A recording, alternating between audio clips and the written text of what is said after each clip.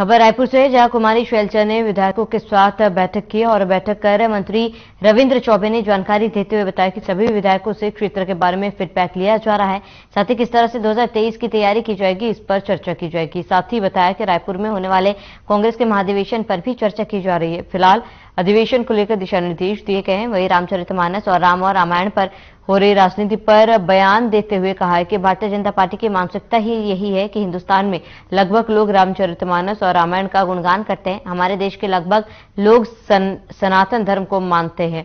जो सनातन को नहीं मानते वो भी रामचरितमानस का अनुसरण करते हैं। साथ ही कहा कि मुख्यमंत्री भूपेश बघेल हमेशा कहते हैं कि यह प्रदेश राम का ननिहाल है और यह कौशल्या कौशल्या माता का जन्मस्थान है इसलिए वहाँ के कणकण कण में राम विराजते हैं। मुझे लगता है कि भारतीय जनता पार्टी की मानसिकता लगभग सतही मानसिकता हो गई है। हिंदुस्तान में रामचरित्र मानस, राम जी के चरित्र, रामायण का गुणगान, ये हम लोगों के जीवन का हिस्सा है। लगभग देश के अधिकांश लोग सनातन धर्म को मानने वाले हैं और जो सनातन को नहीं भी मानने वाले हैं, वो रामचरित्र मानस का अनुसरण करते हैं। और छत्तीसगढ़ के बारे में तो हमारे मुख्यमंत्री जी हमेशा कहते हैं, ये राम जी का ननिहाल है, माता कौशल्या का जन्म स्थान है। हमने चंदपुरी में माता कौशल्या के गोद में राम जी का भव्य मंदिर बनाया हुआ है। राम वन गमन परिपथ को हम लोग बहुत बड़ा टूरिज़्म का परिपथ बनाने जा रहे हैं, जो धार्मिक टूरिज़्म का सबसे बड़ा रास्ता बनने वाला है।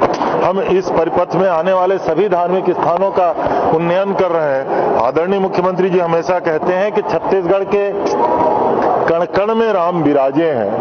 हर व्यक्ति के हृदय में यहाँ राम विराजे हैं। मुझे लगता है कि भारतीय जनता पार्टी की मानसिकता लगभग सतही मानसिकता हो गई है। हिंदुस्तान में रामचरित्र मानस, राम जी के चरित्र, रामायण का गुणगान, ये हम लोगों के जीवन का हिस्सा है। लगभग देश के अधिकांश लोग सनातन धर्म को मानने वाले हैं और जो सनातन को नहीं भी मानने वाले हैं, वो रामचरित्र मानस का अनुसरण करते हैं। और छत्तीसगढ़ के बारे में तो हमारे मुख्यमंत्री जी हमेशा कहते हैं, ये राम जी का ननिहाल है, माता कौशल्या का जन्म स्थान है। हमने चंदपुरी में माता कौशल्या के गोद में राम जी का भव्य मंदिर बनाया हुआ है। राम वन गमन परिपथ को हम लोग बहुत बड़ा टूरिज़्म का परिपथ बनाने जा रहे हैं, जो धार्मिक टूरिज़्म का सबसे बड़ा रास्ता बनने वाला है। हम इस परिपथ में आने वाले सभी धार्मिक स्थानों का उन्नयन कर रहे हैं। आदरणीय मुख्यमंत्री जी हमेशा कहते हैं कि छत्तीसगढ़ के कण कण में राम विराजे हैं।